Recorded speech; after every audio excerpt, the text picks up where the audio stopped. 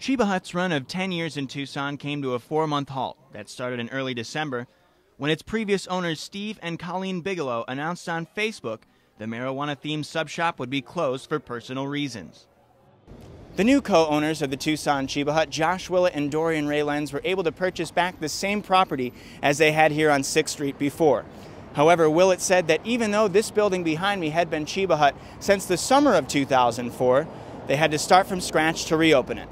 It was totally different. We had to go to the city, reapply for licenses, and get a new health inspection in here and safety inspection. So it was almost like opening a new store with us since the original did close down. Cheba Hut officially reopened for business in Tucson on April 4th, but the grand opening of the event will be on April 20th, the unofficial holiday of marijuana use. Cheba Hut corporate supervisor Joshua Donaldson is in charge of franchise grand openings and said he expects the line to be out the door.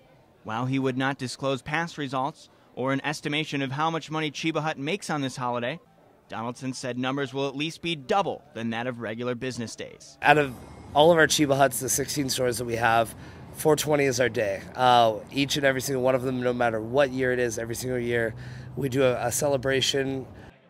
Willett and Donaldson both said the traffic of business in Tucson has shown no decline of where it was before closing as one of Cheba Hut's most successful franchises.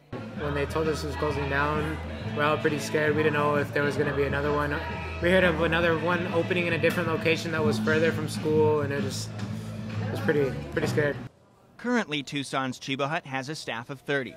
Willett said a third of them worked here when the Bigelows owned the franchise.